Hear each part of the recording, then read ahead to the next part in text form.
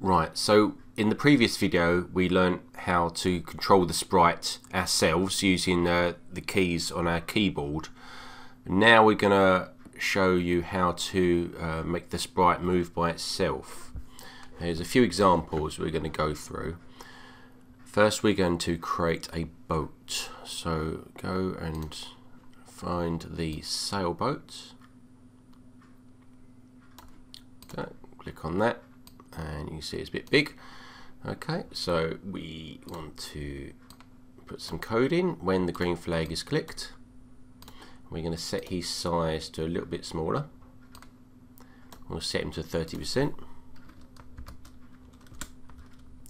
and see that that'll show you the size. Now if you were to position him position the sprite where you want him to start and then go to the motion tab where it says go to and that will be exactly where he is right now which is a useful little tip for you.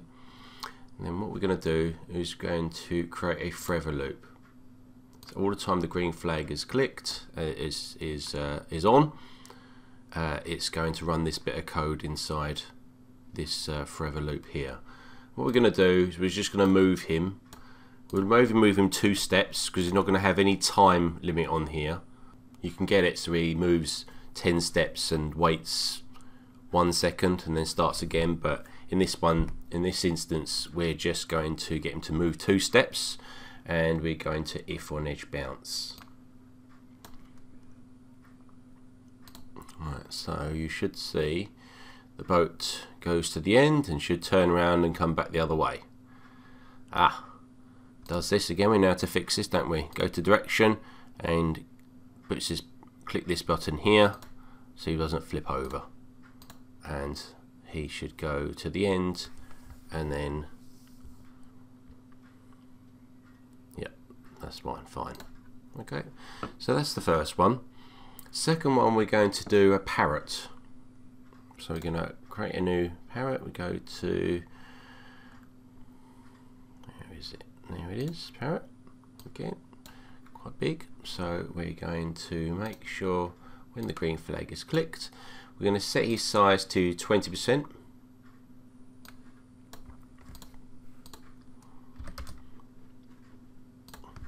okay even anywhere really. And this parrot is going to move around the whole screen. So whereas the first one we did we had it in a straight line the boat he's got a restricted sort of area but in this instance it's going to move him back and forth okay this one is going to go anywhere on the screen. Because the parrot it can go anywhere it likes. Okay so we go to forever loop and what we're going to do is we're going to point him in direction. Okay so we're going to click on this point in direction and we're going to choose a random number. So what we want to do is pick a number and what we're going to do is the whole range bear in mind with the directions now it is minus 179 to positive 180 so we're going to get the go to the operators tab here pick random and click on minus 179 to 180 what we're going to do next we're going to repeat so we're going to repeat 40 times whatever is in this code here. Because otherwise, if you, if you don't do this, if we're going to say move five steps, we'll show you what it does without the repeat. And he sort of does that. Now we're going to need to move him and make sure he's select to only face left and right. And it's a bit weird. Okay, so what we do is we put the uh, repeat loop in here and we're going to move him a five steps. We're going to get him to ne go next costume which looks a little better. Looks like he's flapping his wings and then if on edge bounce. Okay so now he will go around looking like that and it looks a little bit more like a parrot.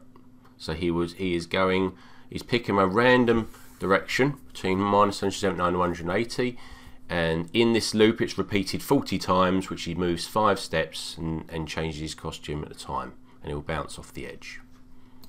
Okay so those that's the the two sprites created so far. The third one we're going to go through um, how to, how gliding works. Uh, whereas this one here uses the moving five steps. It's actually moving a number of steps. The next sprite we're going to use is a balloon so if we just go find the balloon, there we go. And we're going to just delete the blue and the purple ones just so the, the yellow one stands out a bit more. And we are going to, when green flag clicked, very easy, we're going to set his size to 40%. Okay, and then what the balloon's going to do it's going to glide to any random position and it's a delightful bit of code. Okay you just have to click on the forever loop here so it'll also always do that. And then literally click on the go to so glide to glide number of seconds to random position. We're going to do one second here. So keep an eye on the balloon. In fact let's uh, turn off the the parrot so we're not distracted in the sailboat.